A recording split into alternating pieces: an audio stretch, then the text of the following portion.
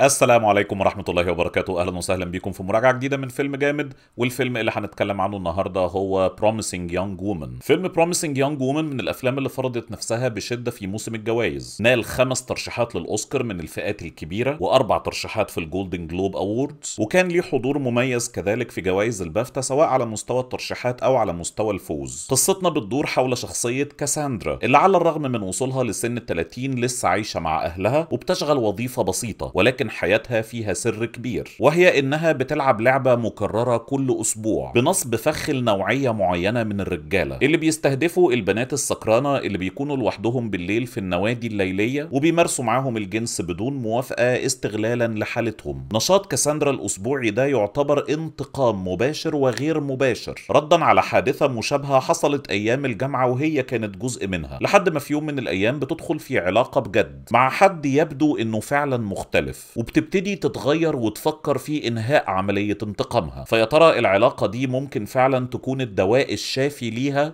ويا ترى إيه اللي هيحصل؟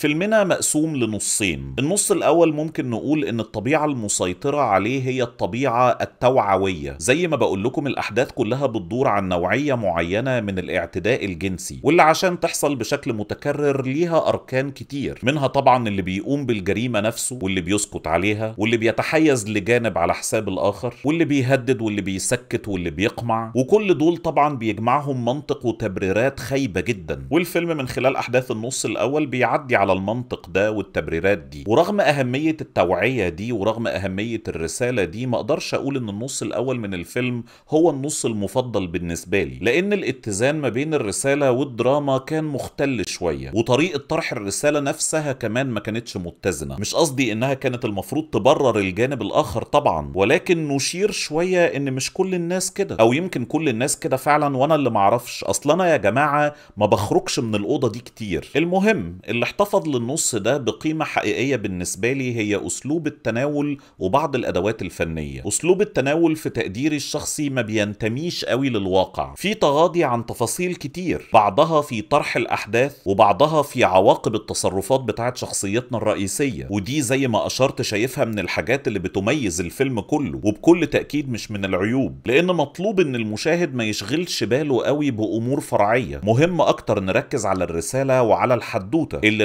الحمد لله بتطغى بشكل قوي في النص التاني للفيلم وهو بكل تأكيد النص المفضل بالنسبة لي. عدد كبير جدا من التقلبات في الأحداث الشخصيات بتاعتنا بتصبح فاعلة أكتر مش مجرد نماذج بتطبق عليها رسائل وبيحصل تنقل سلس جدا ما بين أجواء مختلفة. شوية رومانسية شوية كوميدي شوية جدية مفرطة شوية عنف صادم لغاية لما بنوصل للنهاية اللي أعتقد إنها رائعة لأن فيها توازن حقيقي ومحسوس ما بين الرسالة وما بين الحدوتة. فيلمنا على المستوى الفني عنده بعض التفاصيل المتفردة. بيجي في مقدمتها طبعا السيناريو اللي زي ما قلت بيتناول كل الأحداث بانفصال نسبي عن الواقع لدرجة إن في بعض التسلسلات أنا عن نفسي افتكرتهم أحلام. وطبعا التحرر النسبي ده من قيود الواقع بيدي مساحة أكبر للإبداع. الإبداع على مستوى الصورة على مستوى تصميم المواقف وعلى مستوى التجربة السمعية كمان. لأن الفيلم عنده بعض الاختيارات الفريدة جدا والمجنونة جدا على مستوى ال soundtrack واللي ممكن تحسوها من ال trailer حتى. أداءاتنا التمثيلية كمان فيها بعض الاختيارات الفريدة. فيها ممثلين كبار قايمين بأدوار صغيرة ولكن طبعا مش بس بغرض التكريم. بعض الاختيارات سببها هو بروزة الرسالة لأن المشاهد بكل تأكيد هينتبه أكتر لما الرسالة تيجي على لسان دول. وفي سبب كمان وهو بكل تأكيد إن الأدوار دي صعبة ومحتاجة ممثلين كويسين جدا. واللي على رأسهم بتيجي كاري موليجان في دور كاساندرا. وكاري موليجان بشكل عام ممثلة جامدة جدا ومن أفضل بنات جيلها واللي قدمته في النص الأول من الفيلم فيه بعض الشقاوة وبعض الشغب ولكن بكل تأكيد مش تحديات كبيرة لقدراتها. التحديات الحقيقية بتظهر في النص التاني مع التقلبات الشديدة اللي قلت عليها لحضراتكم واللي كلها بتحصل بقيادتها واللي قدراتها بتسهل الانتقال ما بينها بدون تصدير إحساس للمشاهد بأنه بيتفرج على شيء غريب. لأن في النهاية أنا ما أقدرش أنكر إن أنا بكل تأكيد اتفرجت على شيء غريب. اتفرجت على تجربة سينمائية فريدة ومجنونة ومن أفضل التجارب السينمائية في السنة. لو جيتم تتفرجوا على فيلم Promising Young Woman وحسيتوا إنه مجرد فصل جديد في موجة ال feminism الحديثة فهو بكل تأكيد مش كده بس. ولو حسيتوا حتى إنه بيوعي بشكل فريد بنوع من أنواع الاعتداءات الجنسية اللي الستات بتتعرض له بشكل منهجي فهو بكل تأكيد برضه مش كده وبس. هو قبل ده وده فيلم حلو جدا مكتوب كويس ومحكي كويس ومرسوم كويس ومتمثل كويس جدا. النص الأول ممكن يدي انطباع خاطئ وهو فعلا فيه بعض العيوب لكنه بيتطور بشكل كويس وبينهي بكل قوة. والقوة دي بتنعكس على تماسكه لما نيجي نبص عليه كوحدة كاملة في النهاية. تقييمي لفيلم Promising Young Woman هو 8.5 من عشرة.